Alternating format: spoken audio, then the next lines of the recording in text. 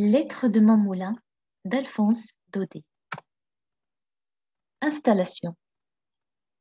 Ce sont les lapins qui ont été étonnés depuis si longtemps qu'ils voyaient la porte du moulin fermée, les murs et la plateforme envahis par les airs.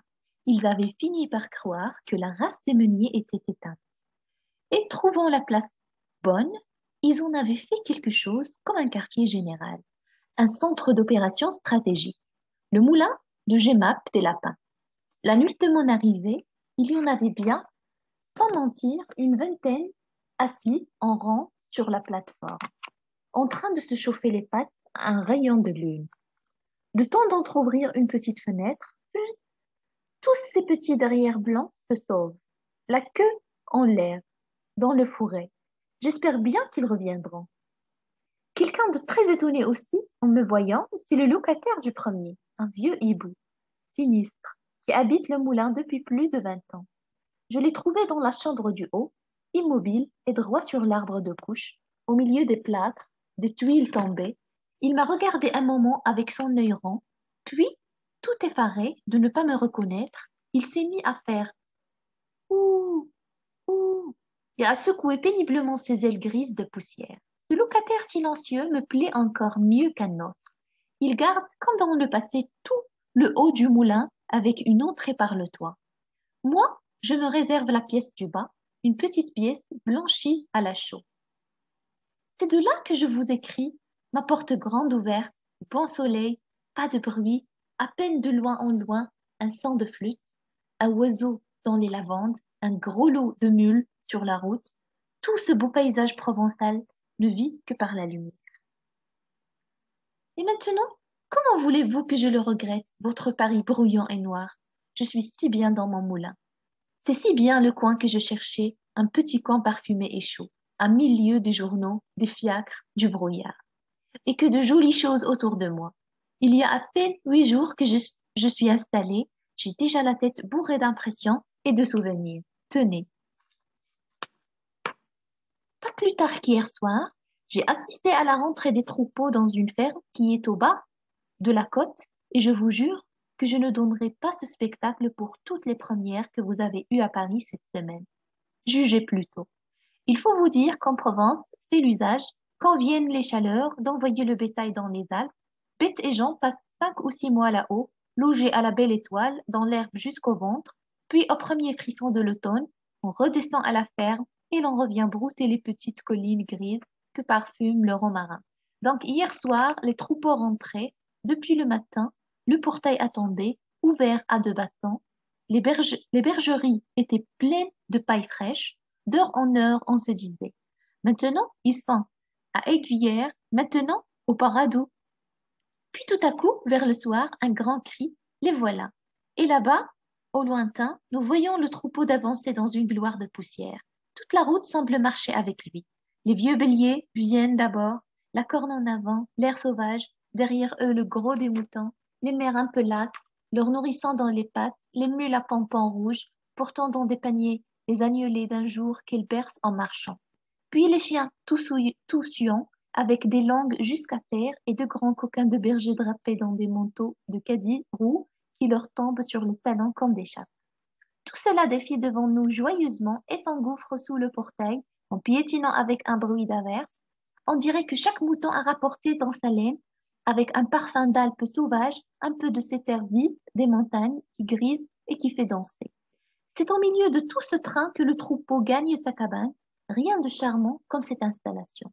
Les vieux béliers s'attendrissent en revoyant leur crèche, les agneaux, les tout petits, ceux qui sont nés dans le voyage et n'ont jamais vu la ferme, regardent autour d'eux avec étonnement.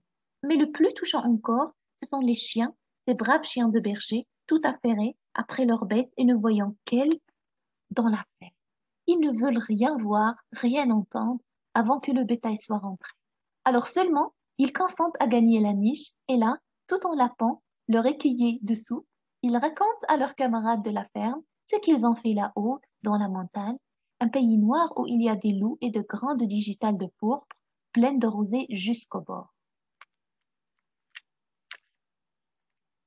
La diligence de Beaucaire. C'était le jour de mon arrivée ici. J'avais pris la diligence de Beaucaire, Nous étions cinq sur la diligence sans compter le conducteur.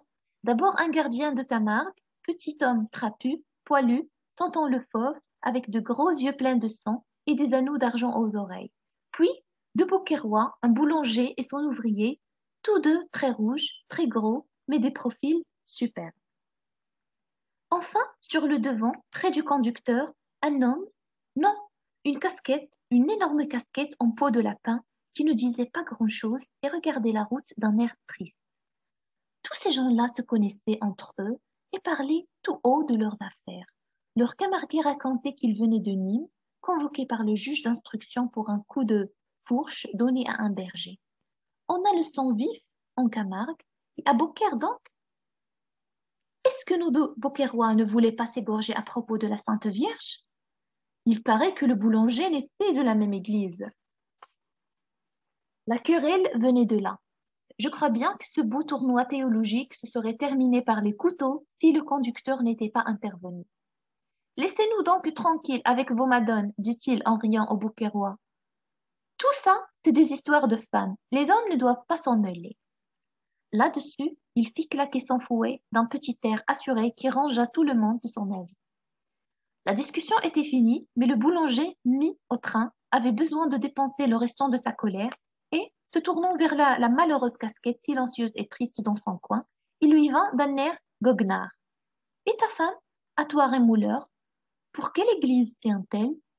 Il faut croire qu'il y avait dans cette phrase une intention très comique, car la diligence tout entière partit d'un gros éclat de rire. Le rémouleur ne riait pas, lui, il n'avait pas l'air d'entendre. Voyant cela, le boulanger se tourna de mon côté. Vous ne la connaissez pas, sa femme, monsieur? Une drôle de paroissienne. Allez, il n'y en a pas de comme elle dans Beaucaire. Les rires redoublèrent, le rémouleur ne bougea pas, il se contenta de dire tout bas, sans lever la tête. Tais-toi, boulanger. Mais ce diable de boulanger n'avait pas envie de se taire et il reprit de plus belle. Le camarade n'est pas à plaindre d'avoir une femme comme celle-là. Pas moyen de s'ennuyer un moment avec elle. Pensez donc, une belle qui se fait enlever tous les six mois, elle a toujours quelque chose à vous raconter quand elle revient. C'est égal, c'est un drôle de petit ménage. Figurez-vous, monsieur, qu'il n'était pas marié depuis un an. Pas. Voilà la femme qui part en Espagne avec un marchand de chocolat. Le mari reste seul chez lui à pleurer et à boire. Il était fou. Au bout de quelque temps, la belle est revenue dans le pays, habillée en espagnol, avec un petit tambour à grelots. Nous lui disions tous Cache-toi, il va te tuer. Ah. Ben oui, l'a tué. Ils se sont remis ensemble, bien tranquillement, et lui a appris à jouer du tambour de basse. Il y eut une nouvelle explosion de rire. Dans son coin, sans lever la tête, le rémouleur murmura encore. Tais-toi, boulanger. Le boulanger n'y prit pas garde et continua. Vous croyez peut-être, monsieur, qu'après son retour d'Espagne, la belle s'est tenue tranquille? Ah, mais non. Son mari avait si bien pris la chose, ça lui a donné envie de recommencer. Après l'Espagne, ça a été un officier, puis un marinier du Rhône, puis un musicien, puis un... Est-ce que je sais Ce qu'il y a de bon, c'est que chaque fois, c'est la même comédie. La femme part, le mari pleure, elle revient, il se console, et toujours, on la lui enlève, et toujours, il la reprend. Croyez-vous qu'il a de la patience, ce mari-là? Il faut dire aussi qu'il est très belle, la petite rémouleuse, vive, mignonne, bien roulée, avec ça, une peau blanche et des yeux couleur de noisette qui regardent toujours les hommes en riant. Ma foi, mon Parisien, si vous repassez jamais par Beaucaire. Oh, tais-toi, boulanger, je t'en prie, fit encore une fois le pauvre rémouleur avec une expression de voix déchirante. À ce moment, la diligence s'arrêta. Nous étions à la ferme des Anglores. C'est là que les deux Beaucairois descendaient. Farceurs de boulanger, il était dans la cour de la ferme qu'on entendait rire encore. Ces gens-là partis, la diligence sembla vide. On avait laissé le camarguais à Arles, le conducteur marchait sur la route à côté de ses chevaux. Nous étions seuls là-haut, le rémouleur et moi, chacun dans notre coin, sans parler. Vous voilà chez vous, Parisien, me cria tout à coup le conducteur. Et du bout de son fouet, il me montrait ma colline verte avec le moulin piqué dessus, un gros papillon. Je m'empressai de descendre. En passant près du rémouleur, j'essayai de regarder sous sa casquette. J'aurais voulu le voir avant de partir, comme s'il avait compris ma pensée. Le malheureux leva brusquement la tête et plantant son regard dans le mien. Regardez-moi bien, l'ami, me dit-il d'une voix sourde. Et si un de ces jours vous apprenez qu'il y a eu un malheur à Beaucaire, vous pourrez dire que vous connaissez celui qui a fait le coup. C'était une figure éteinte et triste avec de petits yeux fanés. Il y avait des larmes dans ses yeux, mais dans cette voix, il y avait de la haine. La haine, c'est la colère des faibles. Si j'étais rémouleuse, je me méfierais. Le secret de Maître Corny. Français Mamaille, un vieux joueur de flûte, qui vient de temps en temps faire la veillée chez moi en buvant du vin, m'a raconté l'autre soir un petit drame de village dont mon moulin a été témoin il y a quelques vingt ans. Le récit du bonhomme m'a touché et je vais essayer de vous le raconter tel que je l'ai entendu. Imaginez-vous pour un moment, cher lecteur, que vous êtes assis devant un pot de vin et que c'est un vieux joueur de flûte qui vous parle. Notre pays mon beau monsieur, n'a pas toujours été un endroit mort et triste comme il est aujourd'hui. Autre-temps, il s'y faisait un grand commerce de meuneries, et dix lieues à la ronde, les gens des fermes nous apportaient leur blé à moudre. Tout autour du village, les collines étaient couvertes de moulins à vent, et toute la semaine, c'était un plaisir d'entendre sur la hauteur le bruit des fouets, le craquement des, toiles et le cri des aides-meuniers. Le dimanche, nous allions en moulin par bande. Les manières étaient belles comme des reines, avec leurs fichus de dentelle et leurs croix d'or. Moi, j'apportais ma flûte et jusqu'à la noire nuit, on dansait. Ces moulins-là, voyez-vous, faisaient la joie et la richesse de notre pays. Malheureusement, des Français de Paris eurent l'idée d'installer une minoterie à vapeur sur la route de Tarascon. Tout beau, tout nouveau. Les gens prirent l'habitude d'envoyer leur blé au minotier et les pauvres moulins à vent restèrent sans travail. Pendant quelque temps, ils essayèrent de lutter, mais la vapeur fut la plus forte, et ils furent tous obligés de fermer. On ne vit plus venir les petits ânes. Les belles manières vendirent leurs croix d'or, plus de vin, plus de danse. Le vent avait beau souffler, les ailes restaient immobiles, puis, un beau jour, la commune fit démolir tous ces moulins à vent et l'on sema à leur place de la vigne et des oliviers. Pourtant, au milieu de cette faillite, un moulin avait tenu bon. C'était le moulin de Maître Cornu. Celui-là, même où nous sommes en train de faire la veillée en ce moment. Maître Corny était un vieux meunier, vivant depuis 60 ans dans la farine et enragé pour son état. L'installation des minoteries l'avait rendu confus. Pendant huit jours, on le vit courir par le village et criant de toutes ses forces qu'on voulait empoisonner la Provence avec la farine des minotiers. N'allez pas là-bas, disait-il. Ces brigands-là, pour faire le pain, se servent de la vapeur, qui est une invention du diable, tandis que moi, je travaille avec le vent, qui sont la respiration du bon Dieu. Et il trouvait comme cela une foule de belles paroles à la louange des moulins à vent, mais personne ne les écoutait. Alors, de rage, le vieux s'enferma dans son moulin et vécut tout seul, comme une bête farouche. Il ne voulut pas même garder près de lui sa petite fille vivette, une enfant de quinze ans, qui, depuis la mort de ses parents, n'avait plus que son grand-père au monde. La pauvre petite fut obligée de travailler dans les fermes pour gagner sa vie. Et pourtant, son grand-père avait l'air de bien l'aimer, cet enfant-là. Il lui arrivait souvent d'aller la voir à la ferme où elle travaillait, et quand il était près d'elle, il passait des heures entières à la regarder en pleurant. Dans le pays, on pensait que le vieux meunier, en renvoyant Vivette, avait agi par avarice, et cela ne lui faisait pas honneur de laisser sa petite fille ainsi traîner d'une ferme à l'autre. On trouvait très mal aussi qu'un homme respecté comme Maître Corny se promenât dans les rues comme un vrai bohémien, les pieds nus et le bonnet troué. Le fait est que le dimanche, lorsque nous le voyions entrer à la messe, nous avions honte pour lui, nous autres les vieux, et Corny le sentait si bien qu'il restait au fond de l'église, près du bénitier, avec les pauvres.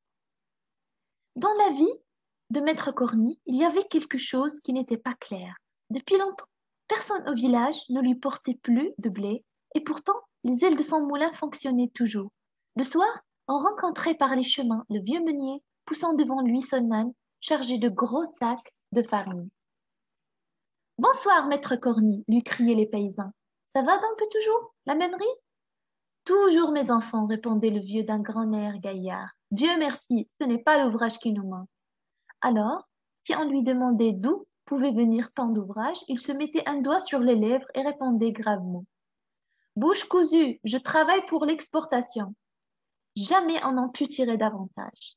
Quant à mettre le nez dans son moulin, il n'y fallait pas songer. La petite vivette elle-même n'y entrait pas.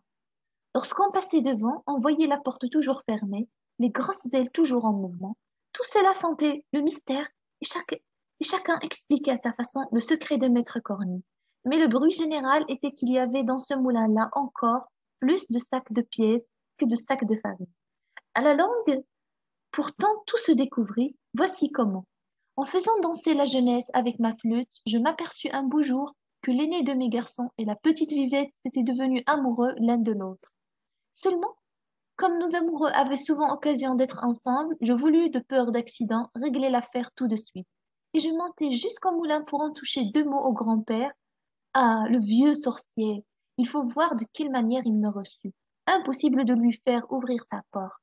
Je lui expliquai mes raisons, tant bien que mal, à travers le trou de la serrure, et tout le temps que je parlais, il y avait ce coquin de chat maigre qui soufflait, comme un diable, au-dessus de ma tête. Le vieux ne me donna pas le temps de finir et me cria fort malhonnêtement de retourner à ma flûte. Que si j'étais pressée de marier mon garçon, je, pouvais bien aller chercher des filles à la minoterie. Pensez que le sang me mentait d'entendre ces mauvaises paroles, mais j'eus tout de même assez de sagesse pour me contenir et laissant ce vieux fou à sa meule, je revins annoncer aux enfants ma déconvenue.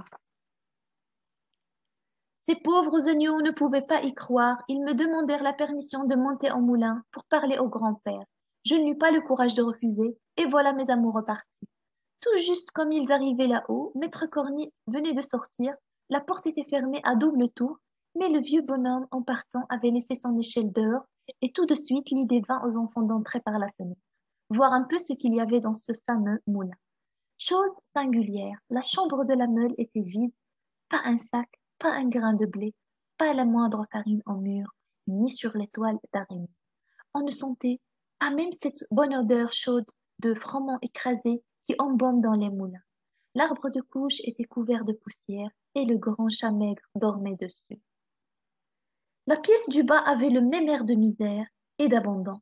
Un mauvais lit, quelques guenilles, un morceau de pain sur une marche d'escalier, et puis dans un coin, trois ou quatre sacs crevés d'où coulaient des gravats et de la terre blanche. C'était là le secret du maître Corny. C'était ce plâtras qu'il promenait le soir par les routes pour sauver l'honneur du moulin et faire croire qu'on y faisait de la farine. Pauvre moulin, pauvre Corny. Depuis longtemps, les minotiers leur avaient enlevé leur dernière pratique. Les ailes viraient toujours, mais la meule tournait à vide. Les enfants revinrent, tout en larmes, me conter ce qu'ils avaient vu. J'eus le cœur crevé de les entendre. Sans perdre une minute, je, courais, je courus chez les voisins, je leur dis la chose en deux mots, ils nous conviennent qu'il fallait, sur l'heure, porter au moulin de Corny tout ce qu'il y avait de froment dans les maisons. Sitôt dit, sitôt fait. Tout le village se met, se, en route, et nous arrivons là-haut avec une procession d'ânes chargés de blé, du vrai blé, celui-là. Le moulin était grand ouvert, devant la porte maître Corny, assis sur un sac de plâtre, pleurait, la tête dans ses mains, il venait de s'apercevoir, en rentrant, que pendant son absence, on avait pénétré chez lui et surpris son triste secret. Pauvre de moi, disait-il, maintenant je n'ai plus qu'à mourir. Le moulin est déshonoré. Et il sanglotait à fendre l'âme, appelant son moulin par toutes sortes de noms, lui parlant comme à une vraie personne. À ce moment, les ânes arrivent sur la plateforme et nous nous mettons tous à crier bien fort, comme au beau temps des meuniers. Ohé, du moulin, ohé, maître Corny. Et voilà les sacs qui s'entassent devant la porte et le beau grain roux qui se répand par terre de tous côtés. Maître Corny ouvrait de grands yeux. Il avait pris du blé dans le creux de sa vieille main et il disait, riant et pleurant à la fois, C'est du blé, Seigneur Dieu, du bon blé, laissez-moi que je le regarde. Puis se tournant vers nous, Ah, je savais bien que vous ne que vous me reviendrez, tous ces minotiers, sont des voleurs. Nous voulions l'emporter en triomphe au village. Non, non, mes enfants, il faut avant tout que j'aille donner à manger à mon moulin. Pensez donc, il y a si longtemps qu'il ne s'est rien mis sous la dent. Et nous avions tous des larmes dans les yeux de voir le pauvre vieux se démener de droite et de gauche, éventrant les sacs, surveillant la meule, tandis que le grain s'écrasait et que la fine poussière de froment s'envolait au plafond. À partir de ce jour-là, Jamais nous ne laissâmes le vieux meunier manquer de travail. Puis, un matin, Maître Corny mourut, et les ailes de notre dernier moulin cessèrent de virer. Pour toujours cette fois. Corny mort, personne ne prit sa suite. Que voulez-vous, monsieur? Tout a une fin en ce monde. Et il faut croire que le temps des moulins avant était passé comme celui des jaquettes à grains de fleurs. La chèvre de monsieur Séguin.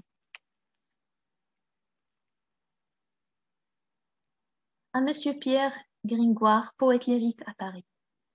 Tu seras bien toujours le même, mon pauvre Gringoire. Comment On t'offre une place dans un bon journal de Paris et tu as le courage de refuser? Mais regarde-toi, malheureux garçon. Regarde ces vêtements troués, ces chausses en déroute, cette face maigre qui crie la faim. Voilà pourquoi on t'a conduit ta passion pour la poésie. Est-ce que tu n'as pas honte à la fin? Fais-toi donc journaliste, imbécile. Tu gagneras un peu d'argent. Non Tu ne veux pas? Tu veux rester libre jusqu'au bout? Eh bien, écoute un peu l'histoire de la chèvre de Monsieur Séguin. Tu verras ce que l'on gagne à vouloir vivre libre. Monsieur Séguin n'avait jamais eu de bonheur avec ses chèvres. Il les perdait toutes de la même façon. Un beau matin, elles cassaient leurs cordes, s'en allaient dans la montagne, et là-haut, le loup les mangeait. Ni les caresses de leur maître, ni la peur du loup, rien ne les retenait. C'était, paraît-il, des chèvres indépendantes, voulant à tout prix le grand air et la liberté. Le brave monsieur Séguin, qui ne, comprenait rien au caractère de ces bêtes, était consterné. Il disait C'est fini, les chèvres s'ennuient chez moi, je n'en garderai pas une. Cependant, il ne se découragea pas, et après avoir perdu six chèvres de la même manière, il en acheta une septième.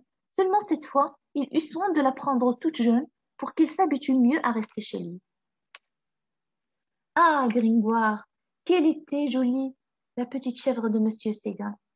Qu'elle était jolie avec ses yeux doux, sa barbiche de sous-officier, ses sabots noirs et luisants, ses cornes zébrées et ses longs poils blancs. En plus, elle était docile, caressante, se laissant traire sans bouger, un amour de petite chèvre.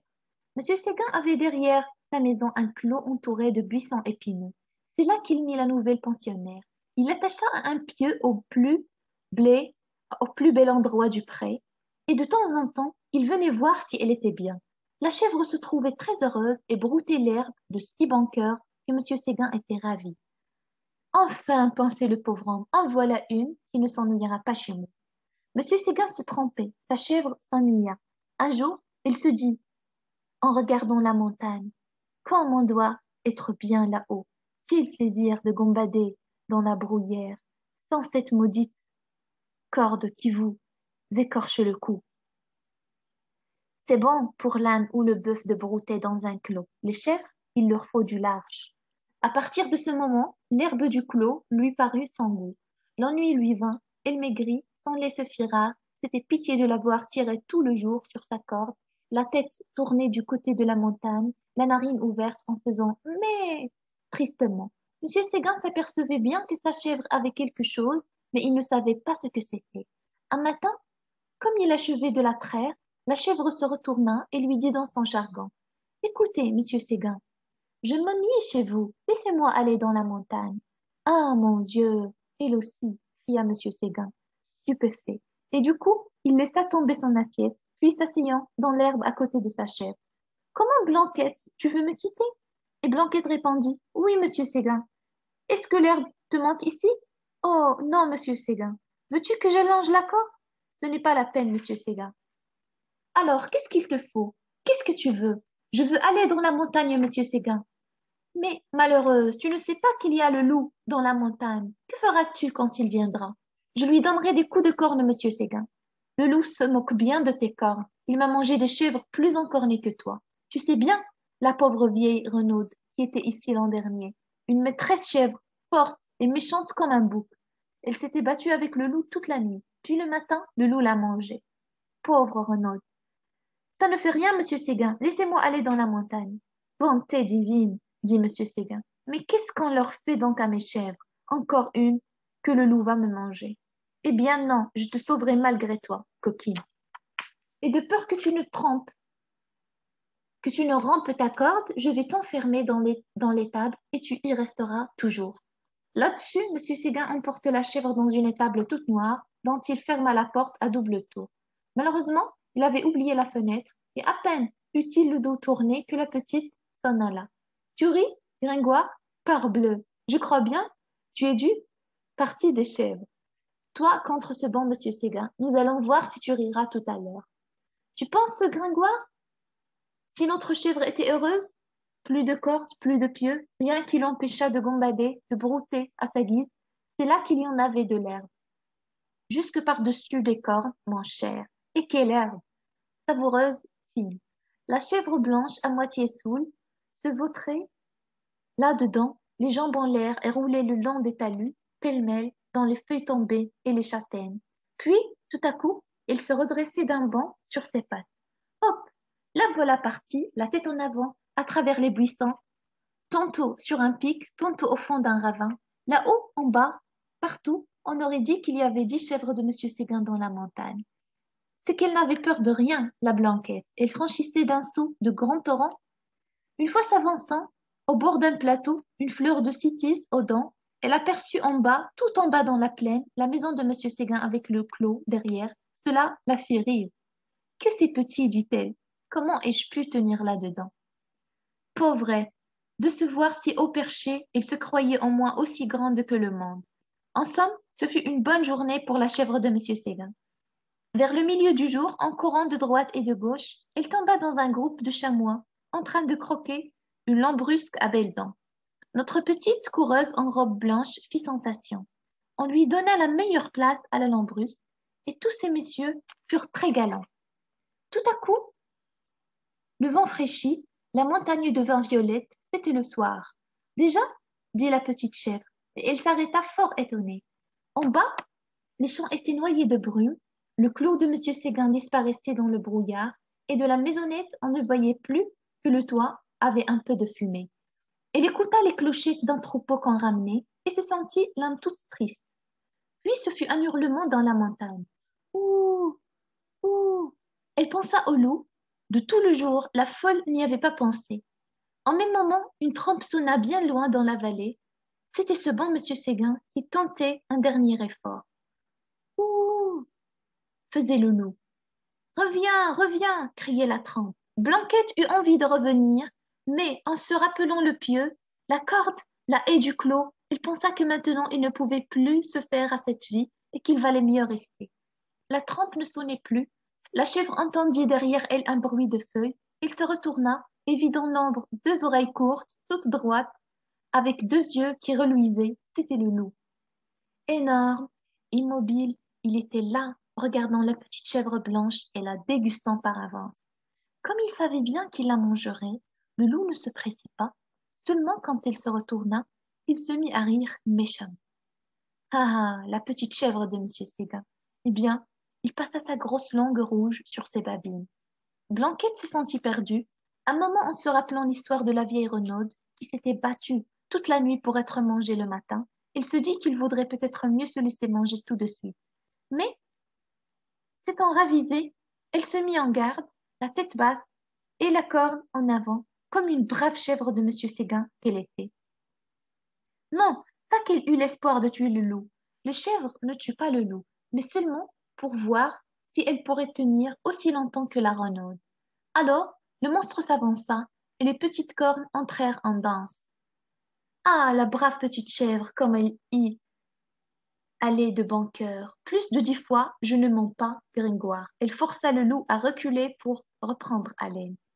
Cela dura toute la nuit. De temps en temps, la chèvre de M. Séguin regardait les étoiles danser dans le ciel clair, et elle se disait Oh, pourvu que je tienne jusqu'à l'aube. L'une après l'autre, les étoiles s'éteignirent, la blanquette redoubla de coups de corne, le loup de coups de dents, une lueur pâle parut dans l'horizon, le chant du coq enroué monta. Enfin, dit la pauvre bête, qui n'attendait plus que le jour pour mourir, et elle s'allongea par terre dans sa belle fourrure blanche, toute tachée de sang. Alors le loup se jeta sur la petite chèvre et la mangea. L'histoire que tu as entendue n'est pas un conte de mon invention. Si jamais tu viens en Provence, les gens te parleront souvent de la chèvre de Monsieur Séguin qui se battit toute la nuit avec le loup. Tu m'entends bien, Gringoire? Et puis le matin, le loup la mangea.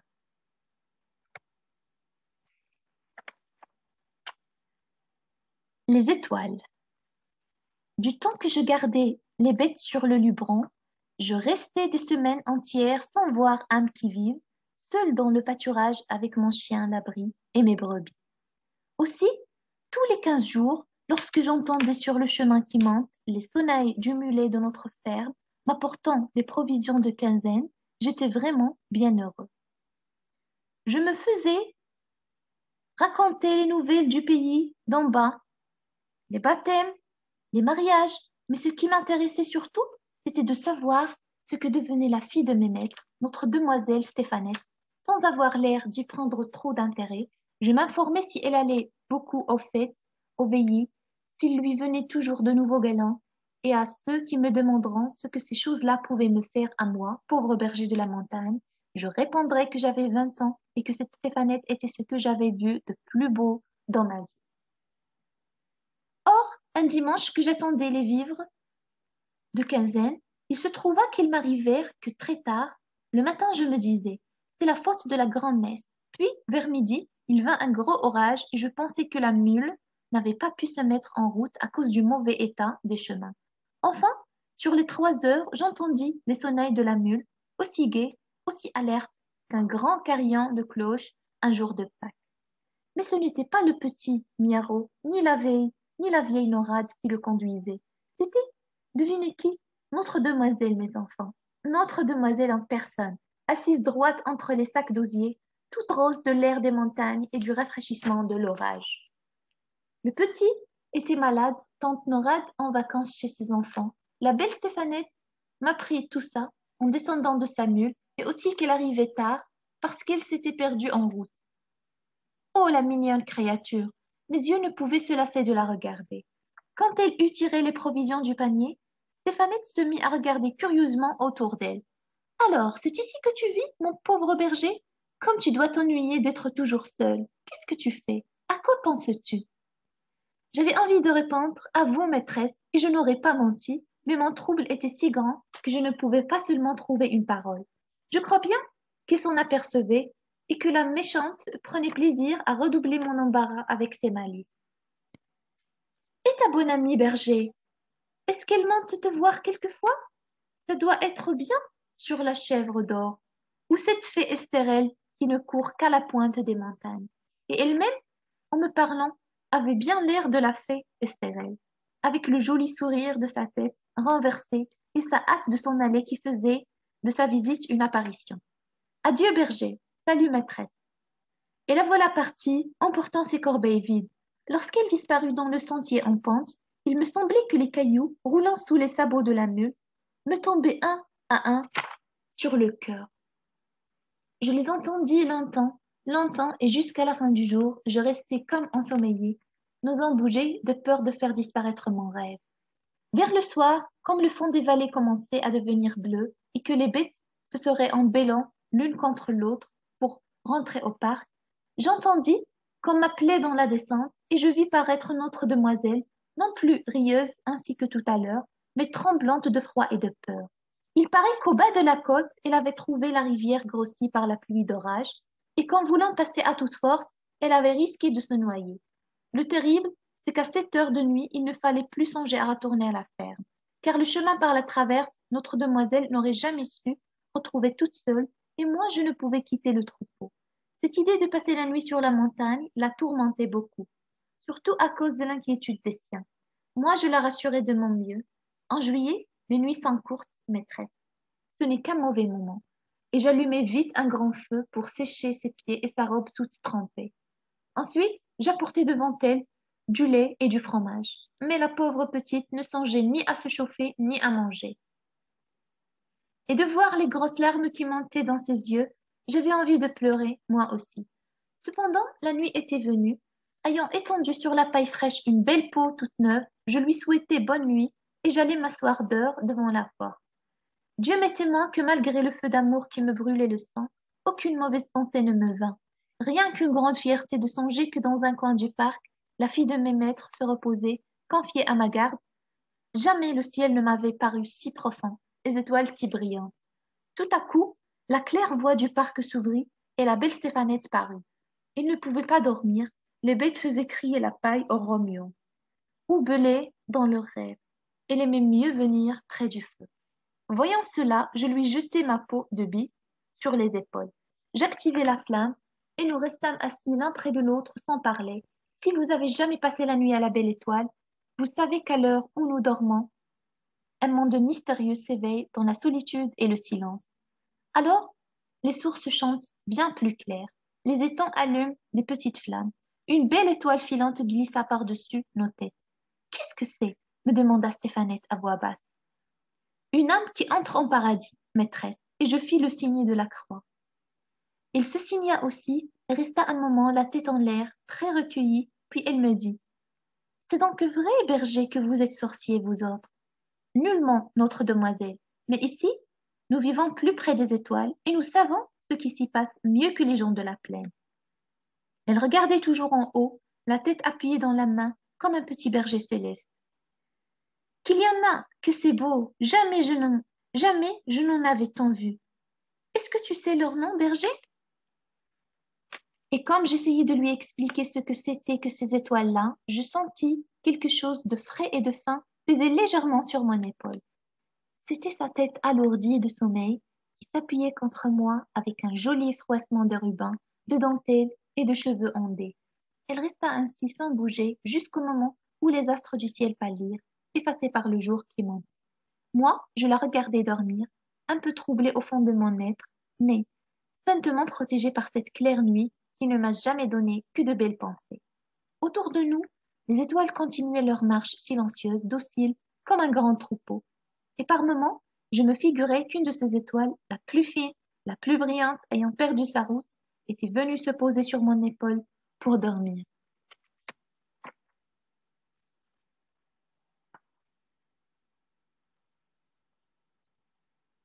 L'Arlésienne. Pour aller au village, en descendant de mon moulin, on passe devant une ferme construite près de la route. C'est la vraie maison d'un compagnon, avec ses tuiles rouges, sa large façade brune, puis tout en haut le grenier et quelques touffes de foin brun qui dépassent. Pourquoi cette maison m'avait-elle frappé? Pourquoi ce portail fermé me serrait-il le cœur? Je n'aurais pas pu le dire, et pourtant cette maison me faisait froid. Il y avait trop de silence autour quand on passait. Les chiens n'aboyaient pas, à l'intérieur pas une voix. Sans les rideaux bleus, blancs des fenêtres et la fumée qui montait des toits, on aurait cru l'endroit inhabité. Hier, sur le coup de midi, je revenais du village et pour éviter le soleil, je longeais les murs de la ferme. Sur la route, devant la ferme des valets silencieux, achevais de charger une charrette de foin. Le portail était resté ouvert. Je jetai un regard en passant et je vis au fond de la cour un grand vieux tout blanc avec une vaste trop courte et des culottes en lambeaux. Je m'arrêtai. Un des hommes me dit tout bas Chut, c'est le maître. Il est comme ça depuis le malheur de son fils. À ce moment, une femme et un petit garçon vêtu de noir passèrent près de chez nous et entrèrent à la ferme. L'homme ajouta La maîtresse et son fils cadet qui reviennent de la messe, ils y vont tous les jours depuis que l'enfant s'est tué. Ah, monsieur, quelle désolation Le père porte encore les habits du mort, on ne peut pas les lui faire quitter. La bête. La charrette s'ébranla pour partir. Moi qui voulais en savoir plus long, je demandai au voiturier de monter à côté de lui, et c'est là-haut, dans le foin, que j'appris toute cette navrante histoire. Il s'appelait Jean, c'était un admirable paysan de vingt ans, sage comme une fille, solide et le visage ouvert. Comme il était très beau, les femmes le regardaient, mais lui n'en avait qu'une en tête, une petite, une petite arlésienne, tout en velours et en dentelle, qu'il avait rencontrée sur la liste d'Arles. Une fois, la fille passait pour coquette et ses parents n'étaient pas du pays. Mais Jean voulait son arlésienne à toute force. Il disait Je mourrai si on ne me la donne pas. Il fallut en passer par là. On décida de les marier après le moisson. Donc, un dimanche soir, dans la cour de la ferme, la famille achevait de dîner. C'était presque un repas de noces. La fiancée n'y assistait pas, mais on avait bu en son honneur tout le temps. Un homme se présente à la porte et d'une voix qui tremble demande à parler à maître Estève, à lui seul. Estève se lève et sort sur la route. Maître, lui dit l'homme, vous allez marier votre enfant à une coquine qui a été ma maîtresse pendant deux ans? Ce que j'avance, je le prouve. Voici des lettres. Ses parents savent tout, ils me l'avaient promise. Mais depuis que votre fils la recherche, ni eux, ni la belle ne veulent plus de moi. J'aurais cru pourtant qu'après ça, elle ne pouvait pas être la femme d'un autre.